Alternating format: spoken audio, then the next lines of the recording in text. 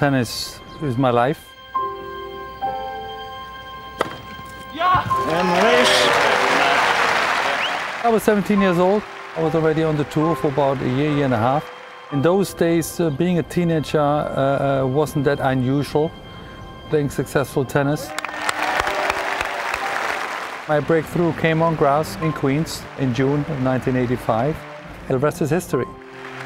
This is his first Grand Prix win, and I'm sure there are going to be so many more. I called the 7th of July 1985 my second birthday.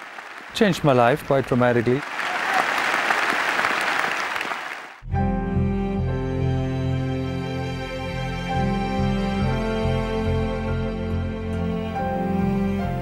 It was against Kevin Curren.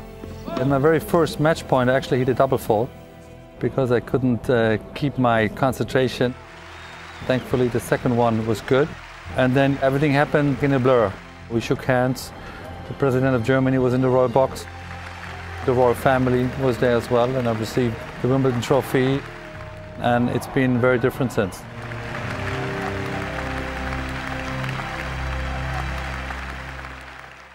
Won again in Wimbledon in 1986.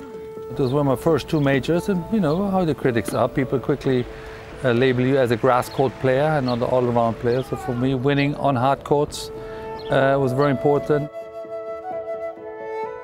Winning the US Open was one of my absolute highlights. Being on that center court, it was you know, by far the largest tennis crowd I ever played in front of. Beating Ivan Lendl in the final, who was number one then, was, was special. I was uh, starting to be successful in the, the era of uh, McEnroe.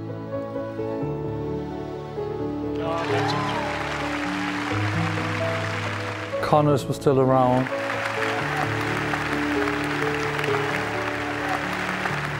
Lendl.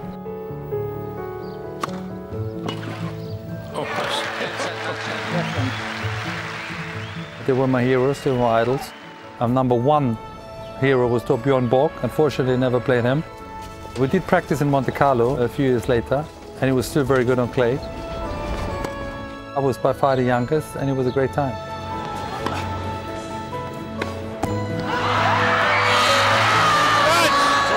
Game, set, match.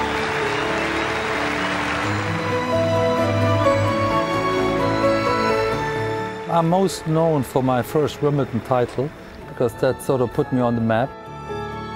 For me personally, my second Wimbledon title was the most important one because it confirmed uh, my, my position in, in the world of tennis and, and most importantly for myself that I, after Wimbledon 2, I feel like I belong.